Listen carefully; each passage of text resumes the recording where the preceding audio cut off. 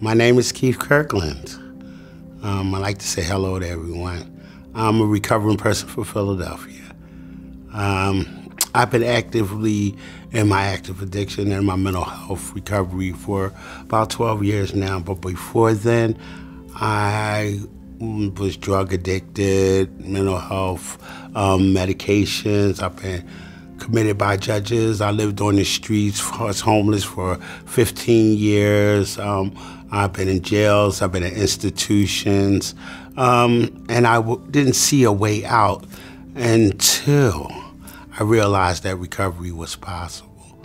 The thing that really helped me in my recovery was learning how to be honest, open minded, and willing to do something different with my life and with the people around me. And the thing that gives me joy is to be able to share my recovery with other people on a daily basis.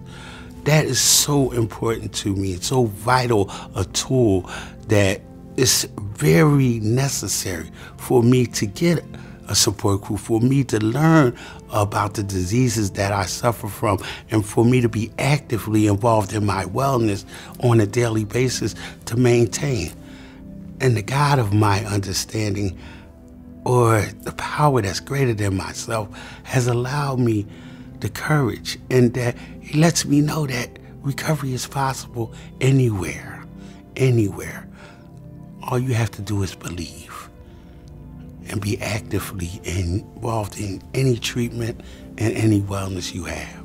I believe in recovery from everything. But the most important thing that's, that I can say to anybody is to be honest with yourself, be open to new things, and be willing to do something different.